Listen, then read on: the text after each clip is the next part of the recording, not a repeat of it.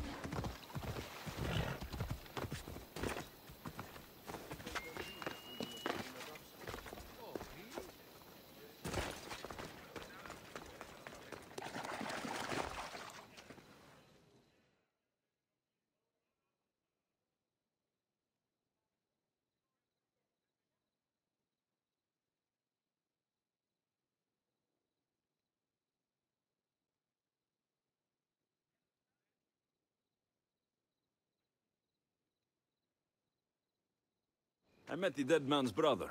Ah. So why did such a man go sailing in shark-filled waters? He was a pirate, and he set out to fight the soldiers who threatened his family. They sank his ship, leaving him to the sharks. That's nearly tragic. So how did you resolve the matter? That is what you do as a Misthios, resolve matters, right?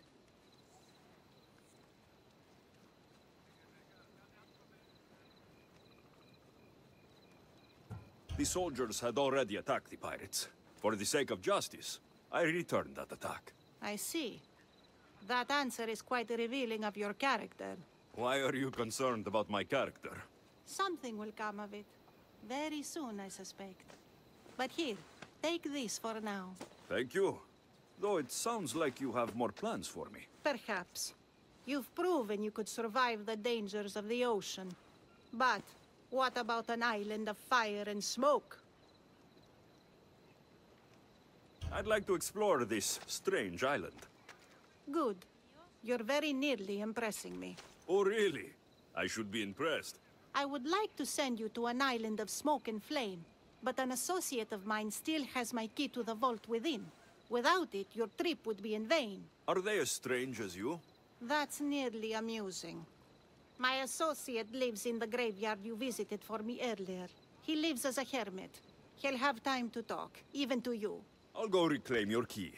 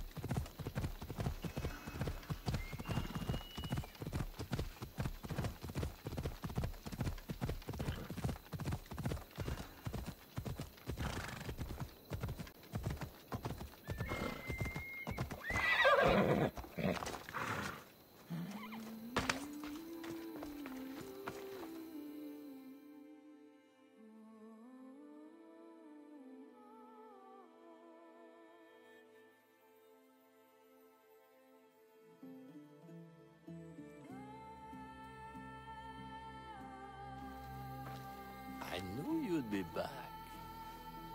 The owl knows. She's Athena's favorite bird, you know. I'm here for the key to the vault. What are you doing here? That's nearly ridiculous. So you're telling me it's not here? I left it somewhere safe. It's near an abandoned camp on Aigina Island. That doesn't sound very safe. How could it not be safe, surrounded by so many defenders? Why do I never get the easy jobs? Who knows?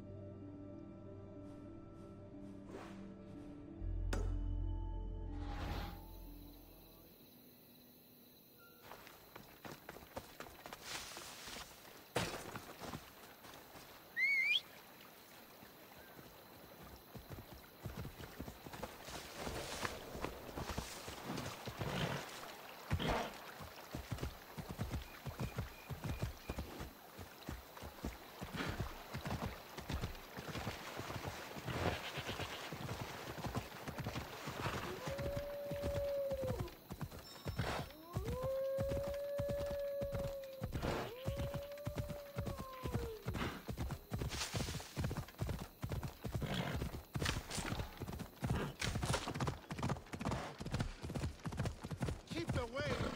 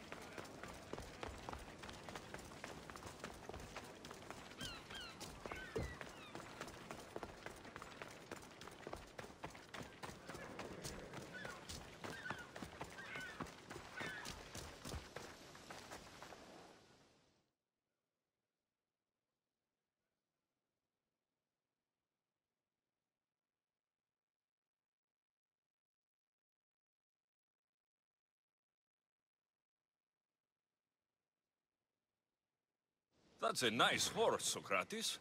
It's a very nice horse. A sturdy horse. It's also a stolen horse.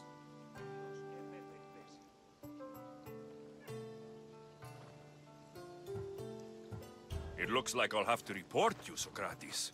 It's what a good citizen would do, right? Oh, very good. Although a bit preemptive without all the details, wouldn't you say? It was a joke. The real question is whether there is truth behind the joke, or if one's mind can be changed once the whole story is revealed. What story is that? There is a man nearby who is responsible for stealing the horse. I've been contemplating the proper course of action, but I'd like to know what you think is right. And how should I make my decision? Your thoughts are your own, but speaking to the thief himself may help you decide. Can such a crime be justified? It's an interesting thought. Where is the thief now? I told him to wait by the stables southwest of here. If you caught him stealing a horse, what's to say he won't just run away? The hope of keeping the horse. That's where you come in. I'll let him tell you the rest.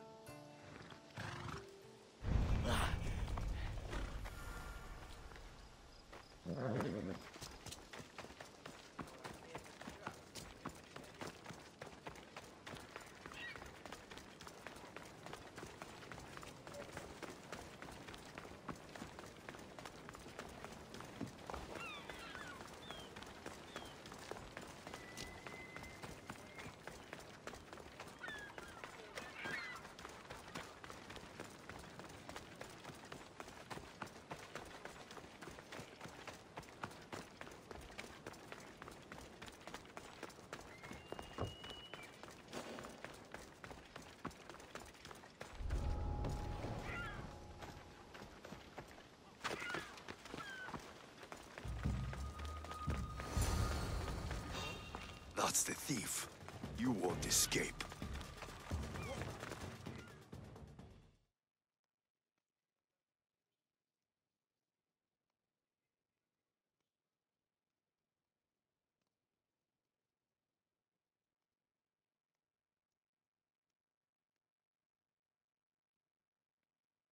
Are you the one who stole the horse? Socrates said I should talk to you. Bad enough being caught, but to have a Misthios judge me, Better than an Athenian guard. Anything to say? the man I stole it from won't even miss it. He has plenty of others, while my only horse died last week. If I had the drachmae to buy a new one, I would have. Any reason you picked this specific horse? It was the easiest one to take. Other than that, not really. Though, I did make sure it wasn't his best horse. A courteous thief. I didn't steal it for fun. I did it because I had no other choice. Did you steal the horse to use it or sell it? I have a family to feed, and this horse will help me on the farm. Plus, I have no other way of traveling right now. There is no other option. Not that I could think of. Trust me, I feel shame for what I did. I have enough information to make a decision. I hope you can understand. Wouldn't you do the same if it was your family?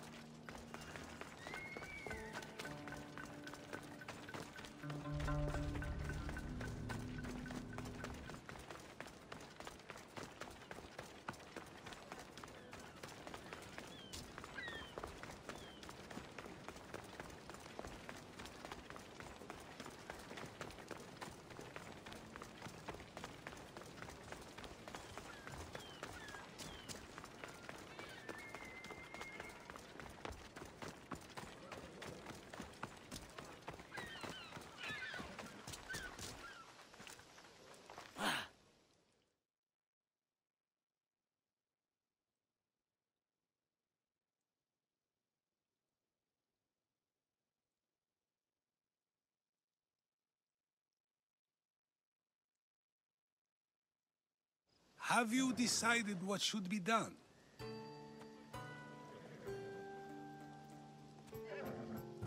If he needs the horse more than the man he stole it from, let him keep it. It will do him more good. So, determining whether a crime deserves a consequence or reward is dependent on the reasons behind it? An intriguing thought, although I can see how dangerous such thinking might be.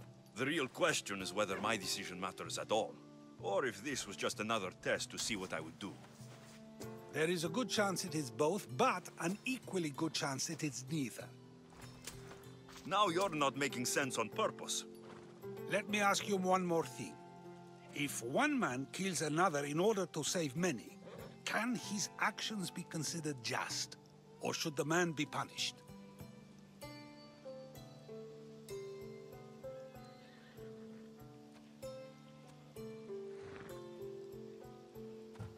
If the action was for a good reason, then he is in the right. So, in times like these, people like us get to determine the law. Many would believe a murder still deserves consequence. The people whose lives were saved would disagree. Then perhaps making choices that affect the most people for good is a correct path. Wouldn't you agree? Are we done yet? I can't stay here all day. Of course you can't. It's a luxury few can afford. Even those with the time for it often lack the mental capacity for such things. Okay.